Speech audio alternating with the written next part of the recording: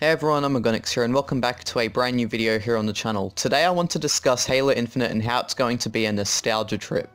From what we've seen already so far from Halo Infinite, people are already talking about how nostalgic the game is because of Chief getting his classic Mark 6 armor back, and the fact that in Infinite a Halo ring is a main plot point of the game has people saying how nostalgic the game is going to be as well. I remember watching the first trailer and already from seeing Chief's classic Mark 6 helmet and the Halo ring, I thought Infinite would have something to do with nostalgia and catering to the older fan base. 343 know very well that Halo's fans that have been around since the Bungie days haven't enjoyed their recent works, and Halo Infinite was 343's way of catering to the right bunch of people they should have been making the Reclaimer saga of Halo games for all along since Halo 4.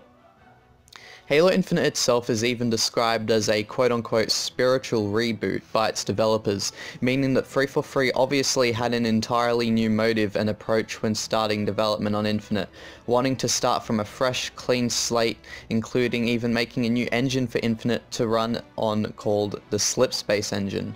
343 are definitely trying in this new era of console gaming. 343's efforts to cater to the older fanbase don't just stop at giving Master Chief his most well-known armor, the game being based on a Halo ring and a new engine, no.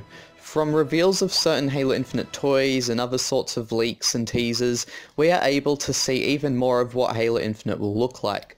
The grunts look as classic as ever, the elites are looking classic, and I even found an article today talking about the leak of Brute Halo Infinite figures. That is right, Brute Halo Infinite figures. They are called Brute Warriors as it says on the packaging and the Banished are apparently going to make an appearance in the game as well. So there being Brute Halo Infinite action figures and stuff would make sense. If they are definitely going to be in the game. Something I forgot to mention was that there are revealed Halo Infinite Nerf guns. Here's an image of the assault rifle, a rocket launcher I believe, and a needler. The assault rifle resembles the model from Halo Reach, the Needler is probably in its smoothest form, and the rocket launcher just looks like a downsized, smaller scale uh, version of a rocket launcher and just looks like a toy really. Overall, from what elements we've seen of Halo Infinite, such as the trailers, the toys and other stuff, it gives us a lot more of an insight and context into Halo Infinite. From what we've seen so far, Halo Infinite is going to be a blast to the past, bringing back some original elements that classic Halo fans from the Bungie days loved and a new art style to complement it as well. And so yeah, anyways guys, that is the end of today's video. If you did enjoy, don't forget to like and subscribe for more. And yeah, I'll see you all soon in my next one. Bye bye.